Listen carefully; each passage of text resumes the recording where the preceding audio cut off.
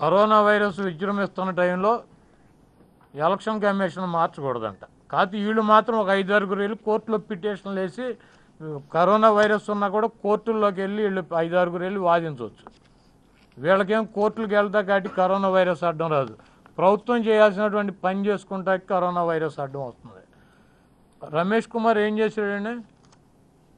ఈ రాష్ట్రంలో ఎన్నికలు పెట్టమని చెప్పి రాష్ట్ర ప్రభుత్వం డబ్బులు కేటాయించి రాష్ట్ర ప్రభుత్వాలు రిజర్వేషన్ తీసి పలానా టైంలో పోలీస్ వ్యవస్థ ఖాళీగా ఉంటుంది.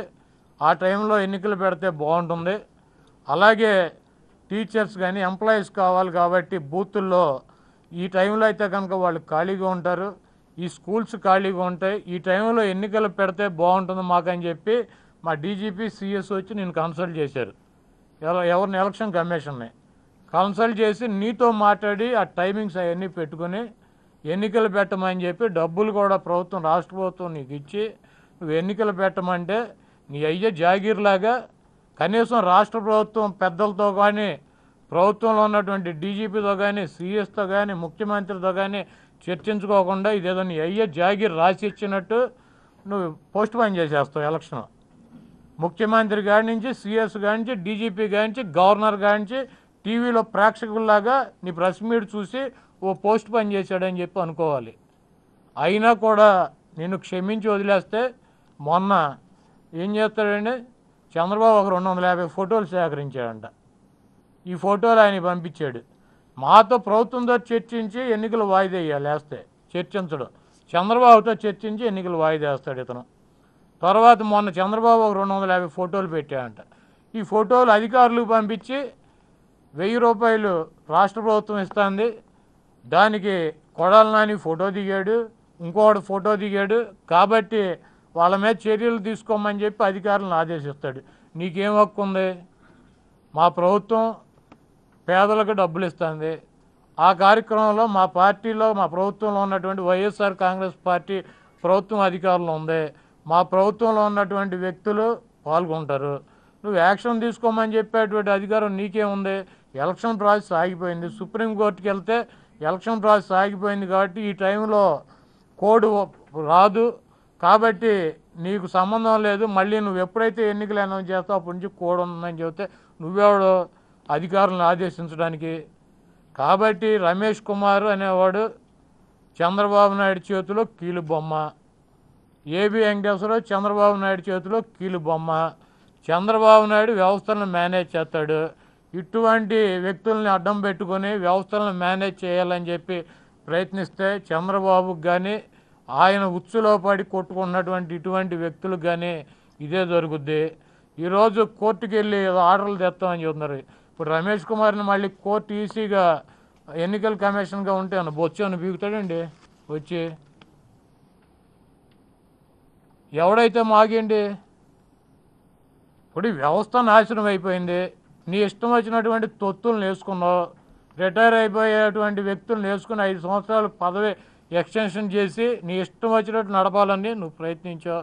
కాబట్టి ఈ వ్యవస్థ బాగుపడాలంటే ఇటువంటి ఐఏఎస్లు అధికారులు రాజకీయ నాయకుల కింద పనిచేసేటువంటి వ్యక్తులను కనుక పెడితే ఈ వ్యవస్థ ఎప్పటికీ బాగుపడదు. కాబట్టి అతను తీసేసి high court retired judge high court retired judge high court judge అని రాజకీయ నాయకుల కింద పనిచేయరు. నా కింద ముఖ్యమంత్రి కింద మంత్రుల కింద పనిచేయరు. వీళ్ళందరూ ఐఏఎస్లు ఐపీఎస్లు మా కింద పనిచేస్తారు. కాబట్టి మాకు నచ్చిన అధికారిని వేసుకుని మేము ఎన్నికలకు వెళ్తే ప్రజాస్వామ్యం కూని అవుతుంది. కులాలు మతాలు లేకుండా పక్క రాష్ట్రంలో ఉన్నటువంటి పక్క రాష్ట్రంలో ప్ర కోర్టు సుప్రీంకోర్టు హైకోర్టు జడ్జిగా పనిచేసినటువంటి వ్యక్తి ఇక్కడ ఏ వ్యక్తి ఏ పార్టీతో కానీ ఏ కులంతో కానీ ఏ మతంతో కానీ సంబంధాలు లేనటువంటి వ్యక్తి. అందరితో కూడా న్యాయం ఏదైతే ఉంటుందో అదే చేస్తాడని చెప్పి పక్క రాష్ట్రం తమిళనాడు నుంచి మా జడ్జి హైకోర్టు జడ్జిని తీసుకొచ్చి మూడేళ్ళ కాలపరిమితి తగ్గించి ఆయన్ని పెట్టి ప్రజాస్వామ్యాన్ని కాపాడాలని జగన్మోహన్ రెడ్డి గారు ప్రయత్నిస్తుంటే అది ఘోరం అంట అమానుషం అంట. నీ కులవాడిని నీ కింద పనిచేసినాడిని నీ తొత్తుని నీ కాలుకి చెప్పుని తీసుకొచ్చి నువ్వు ఎలక్షన్ కమిషన్గా పెట్టుకుని నువ్వు నడిపితే అదేమో న్యాయం అంట నీతి అంట. అసలు ఏమైనా అర్థం బర్థం ఉందా? దానికి ఆయన ఏదో క్రిస్టియన్ అని హిందూ అని ముస్లిం అని జగన్మోహన్ రెడ్డి గారికి బంధువు అని ఈ ఏదో ఫేస్బుక్లో కొంతమంది ఏదోలో సర్క్యులేట్ చేస్తున్నారు. దాన్ని కొన్ని టీవీల్లో చూపించి ఆయన యేసుప్రభు భక్తుడు ఈయన వెంకటేశ్వర స్వామి భక్తుడు దీనికోసం జగన్మోహన్ రెడ్డి గారు చేసింది. ఆయనకి సంబంధించినటువంటి ఆయనకి తెలిసినటువంటి ఆయన బంధువులు ఆయన కులం ఎవడో లేడండి ఇక్కడ పెట్టుకుంటాకి పక్క రాష్ట్రం నుంచి తీసుకొచ్చి పెట్టాలా? ఏ పార్టీతో ఏ కులంతో ఏ మతంతో సంబంధం లేకుండా ఎలక్షన్ ప్రాసెస్ జరగాలంటే ఒక న్యాయమూర్తి తొమ్మిది సంవత్సరాలు హైకోర్టు జడ్జిగా మద్రాస్ హైకోర్టు జడ్జిగా పనిచేశాడు ఆయన. ఇక్కడ ఎవరితో కానీ బంధుత్వాలు కానీ పార్టీలు కానీ వ్యక్తులు కానీ తెలవదు.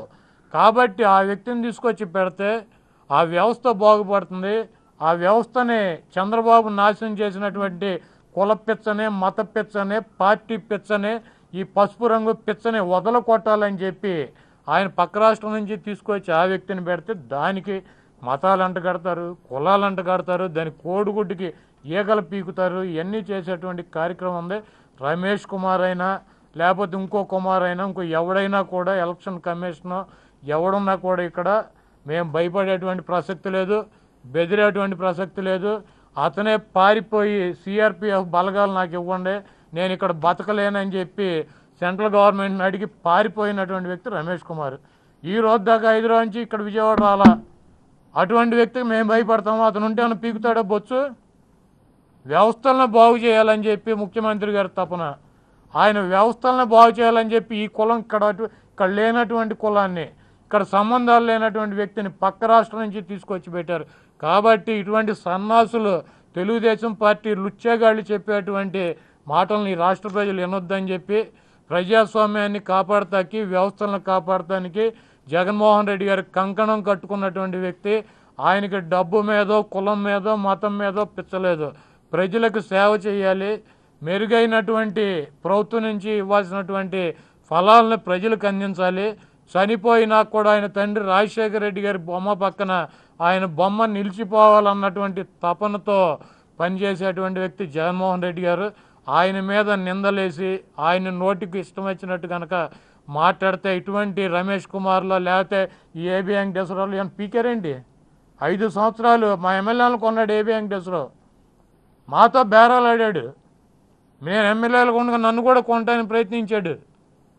కులాన్ని అడ్డం పెట్టుకుని మతాన్ని అడ్డం పెట్టుకుని పార్టీలను అడ్డం పెట్టుకుని బతికే బతికే బతుకు చంద్రబాబుది ఇటువంటి లుచ్చే పనులు చేసేటువంటి వెన్నుపోటు రాజకీయాలు చేసేటువంటి వ్యక్తి చంద్రబాబు గారు కానీ జగన్మోహన్ రెడ్డి గారు కాదు.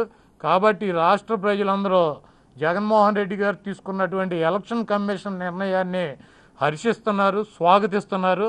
అయినా కూడా ఒక కులం కోసం ఒక మతం కోసం ఒక పార్టీ ఒక వ్యక్తి కోసం కోర్టులు తిరిగేటువంటి ఇటువంటి లుచ్చగాళ్ళనే ఈ తెలుగుదేశం పార్టీని ఇరవై మూడు సీట్లు కాదు ఈసారి మూడు సీట్లు పరిమితం చేసి చంద్రబాబు నాయుడిని భూస్థాపితం చేయాలి. మొన్న ఎలక్షన్ ఆఫీసర్ అతను చేసినటువంటి కార్యక్రమం. ప్రభుత్వంతో చర్చించాలి నువ్వు ఎలక్షన్ పోస్ట్ మ్యాన్ చేయి ఏదైనా చేయి. ప్రభుత్వం సీఎస్తోనో డీజీపీతోనో ప్రభుత్వంలో చర్చించి ఈ పరిస్థితులు ఉన్నాయి కాబట్టి ఎలక్షన్ పోస్ట్ పోన్ చేస్తున్నానని చెప్పు. చెప్పి నువ్వు ప్రభుత్వం వద్దన్నా కూడా నువ్వు పోస్ట్ పోన్ చేస్తే అది వేరు. నువ్వు అసలు ఎవరికే చెప్పకుండా నీ అయ్యే జాగీర్లాగా మేము టీవీలో చూడాలా? నువ్వు ప్రభుత్వంతో మాట్లాడవా? కాబట్టి అతనికి రమేష్ కుమార్కి జగన్మోహన్ రెడ్డి గారి ప్రభుత్వం కుక్క ఘాటికి చెప్పు దెబ్బలాగా.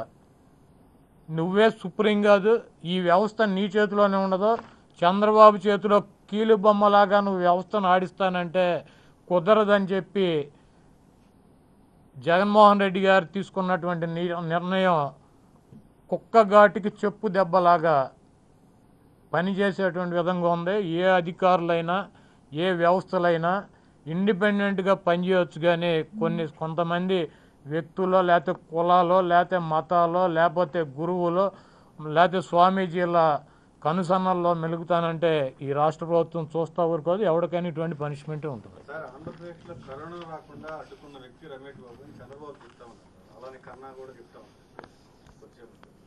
ఇప్పుడు ఆంధ్రప్రదేశ్లో కరోనా రాకుండా రమేష్ కుమార్ అడ్డుకున్నాడని చంద్రబాబు చెబుతాడు. చంద్రబాబు నాయుడు గొప్ప నాయకుడని ఇటువంటి నాయకుడు కనుక చైనాలో ప్రధానిగా ఉండుంటే చైనాలో అసలు కరోనా పుట్టేది కాదనేమో ఈయన చెబుతాడు. అంటే దీంట్లో మ్యాచ్ ఫిక్సింగేగా నువ్వు నన్ను పొగుడు నేను నిన్ను పోగొడతా. ఎక్కడికన్నా వెళ్ళేటప్పుడు చెప్పుకుని మనం ఇద్దరం కలిసి బయలుదేరి వెళ్తా నేను నీ గురించి బాగా చెబుతా నువ్వు నా గురించి బాగా చెప్తా నేను నీకు డప్పు కడితే నువ్వు నా డప్పు.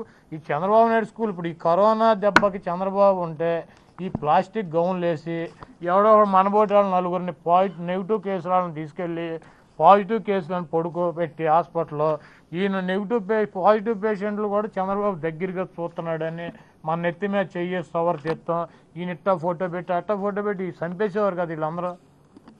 కాబట్టి చంద్రబాబు నాయుడు చేసుకున్నటువంటి పబ్లిసిటీని ఇటువంటి లుచ్చా పనులు జగన్మోహన్ రెడ్డి గారు చేయడు. దేనేను ఉమా జ- మీడియా ముందుకు వచ్చి జగన్మోహన్ రెడ్డి గారు మాట్లాడాలా? నీకు మీడియా ముందు మాట్లాడేటువంటి కర్మ నీకు చంద్రబాబు నాయుడుకి ఉంటుంది. జగన్మోహన్ రెడ్డి గారికి ఎందుకు ఉంటుంది? జగన్మోహన్ రెడ్డి గారు డైరెక్ట్గా పాదయాత్ర చేసి ప్రజలతో మాట్లాడాడు. ఏదైనా ఉంటే సమీక్షలు చేస్తాడు. మావాడు మంత్రులతో చెప్పిస్తాడు. అధికారులతో చెప్పిస్తాడు ఆయన ముఖ్యమంత్రి హోదాలో ముఖ్యమంత్రికి బోళ్ళు పనులు ఉంటాయి. మీడియాతో మాట్లాడతాం గంటల గంటల ప్రెస్ మీట్ పెడతాం. నీలాంటి చంద్రబాబు నాయుడు లాంటి పని పాటలు తీసేసిన తహసీల్దారులు చాలామంది ఉంటారు. మీరు పెట్టుకోండి.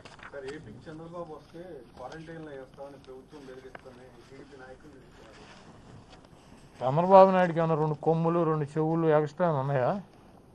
ఇప్పుడు చంద్రబాబు నాయుడు పక్క రాష్ట్రం పోయాడు. అక్కడ ఉంటున్నాడు. ఈయన ఎక్కడ తిరుగుతున్నాడు? ఏం చేస్తున్నాడు? ఎవడికి తెలియదు తీసుకొస్తే ఇక్కడ తీసుకొచ్చి పార్టీ సమావేశాలు పెట్టి ఆ ఉమాగాడికి బొమ్మగాడికి బ్రాహ్మయ్యకి వీళ్ళందరికీ అతికి అంటించాడు అనుకో. వీళ్ళు వెళ్ళి ఓడలు అంటించి వ్యాప్తి చెందుద్ది కదా. కాబట్టి చంద్రబాబు అయినా నేనైనా ఇంకోడైనా ఇంకోడైనా టెస్ట్ చేయడంలో తప్పే ఉంది. అసలు ఆయనే వచ్చి ప్రధాన ప్రతిపక్ష నాయకుడు కాబట్టి ఆయనే వచ్చేటప్పుడు మేము ఎవడం రమ్మనుకున్నాను ఆయన క్వారంటైన్లో చేరి ఒక పద్నాలుగు రోజులు దాంట్లో ఐసోలేషన్ వార్డులో ఉండి ఆయన బయటకు వస్తే ఆయన పార్టీకి మంచిది ఆయనకి మంచిది. ఏంటండి? వీడియో నచ్చిందా? అయితే ఓ లైక్ వేసుకోండి. లేదంటే ఓ కామెంట్ చేయండి. ఎప్పటికప్పుడు మా వీడియోస్ చూడాలంటే సబ్స్క్రైబ్ చేసుకోండి.